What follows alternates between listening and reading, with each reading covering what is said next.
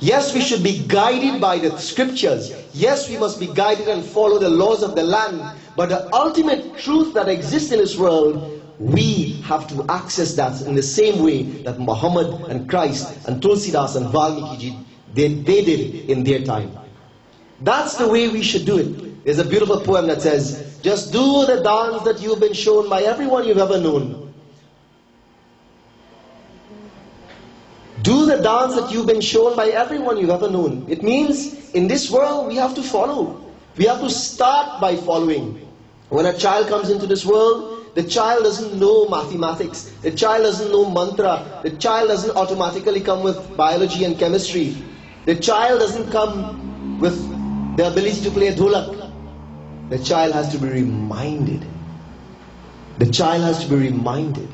And the point I'm making is Every single individual, when we come into this world, just do the, the dance that you've been shown by everyone you've ever known until the dance becomes your very own.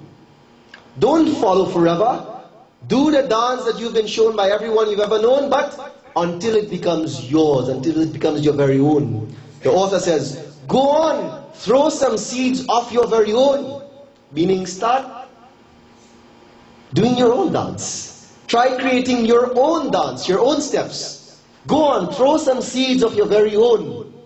Why? Because between the time that you have come into this world and the time that you go home, there is one dance you will have to do alone.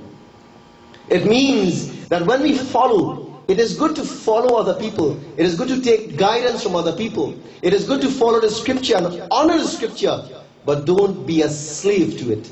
If you, if you arti the Ramayana every day, the teachings and the wealth of the Ramayana doesn't get translated to you. When Hindus worship a book, it means that I honor the knowledge, but more than that, I honor the source from which that information came from. And for you and I as individuals, as human beings, we need to tap into that source from where others have found it. We will do the dance that we've been shown. We will read the scripture. We will follow the teachings of everyone. But the catch is, we must make it our very own. So when you point to yourself and you see, I am here, it is an automatic guidance. It is a calibration that comes with every child that knows, that child knows, that that I that is here is the same I that is there in you, and it is the same I that is in the crook in Laventille, and it is the same I that is in the Swami that is meditating in the Himalaya. It is the same common I that exists in every single human being. And the point is, devotees, the point is, friends, that if you want to access and you're sure about making the right choices in your life, consult your inner voice. That inner voice is always right. Some people say on our shoulders, there's one little voice that is the devil saying, man, study them. That devil voice, it's ego that says, don't let nobody make you feel like you're less than them. Don't let anybody make you feel.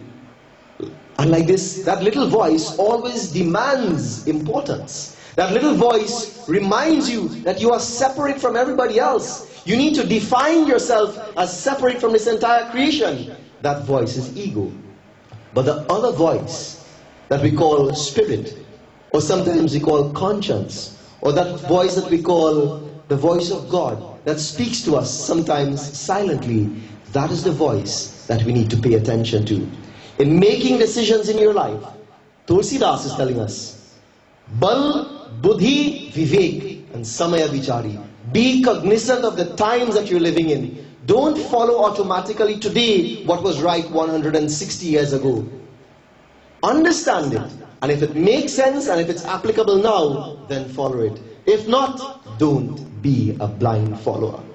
Tulsidas and all the scriptural injunctions of the world remind us that to find out what is the right way to do something in your life, consult your inner dialogue. And there are two criteria that we must follow. One, if something is right for us, it must be beneficial to me. But it doesn't stop there. If something is the right thing to do, it must be beneficial to me and those who will be impacted by that choice. It is not just beneficial for me. If so, then it will be a very selfish world. It will be a world where we justify all our actions because it benefits ourselves only. The right judgment, the right action comes from knowing that the action benefits myself as well as those who would be impacted by that judgment. If the thought, if the word, if the action satisfies these both, both these two criteria, then the Lord Tulsidas, the law of the universe is telling us, then we know what is right.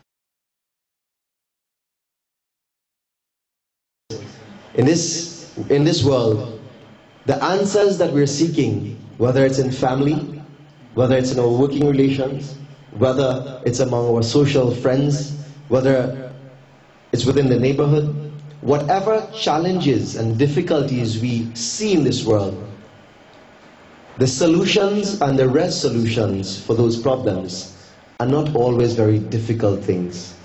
Sometimes they're very simple.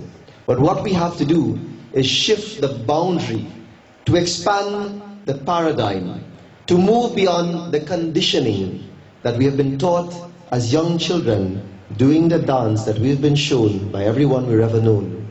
Unless we could step out of that and look at situations in our life beyond what we have been trained and conditioned to do and to see, the solutions are simple and readily available to us. If we can do that and train ourselves, the concept of right and wrong would become, would become contextual, it would become based on the issues at hand, but more than that, it will be based on the intentions that drives our action.